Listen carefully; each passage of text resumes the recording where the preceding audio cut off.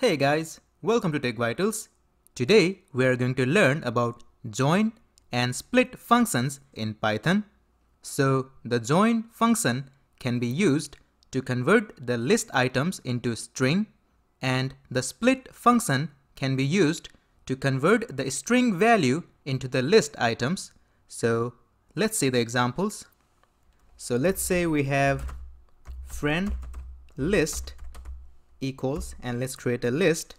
So let's add some values. Let's say Ross Joe and let's say Chandler.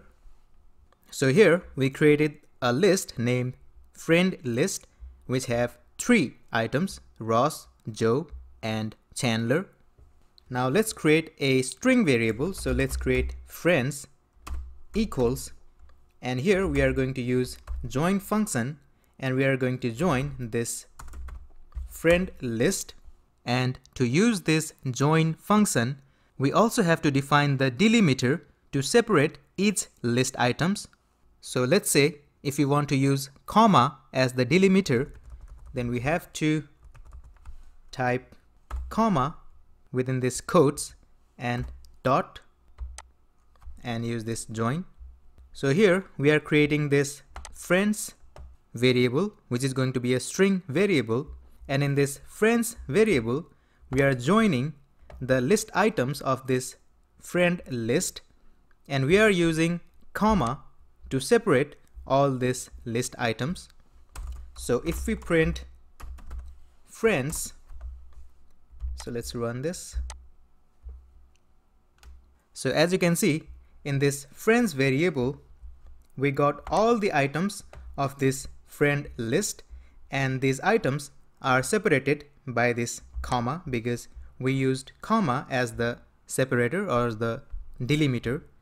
But let's say instead of comma let's use this plus sign.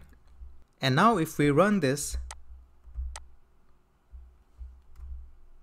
now we still have all the items of this friend list but now these items are separated with this plus sign. So using this join function or join method, we can convert the list items into the string values and we can also define the separator or the delimiter to separate these list items. And now let's see the example of split function. So let's delete this and now let's create a variable named friends and now we are going to store the string value. So let's say Rachel comma Monica comma Phoebe. So this friends is a string variable which contains this Rachel comma Monica comma Phoebe value. And now let's create friend list and we will use the split function to convert this string value into the list items. So we will say friends dot split and here also we have to define the delimiter but this time the delimiter is already in the string value. So we can see this Rachel, Monica and Phoebe are separated using the comma. So here we should split those items with comma.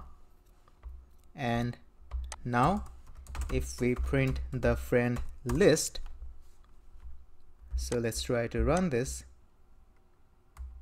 So as you can see this split function created a friend list with all the values in the string variable that are separated using comma.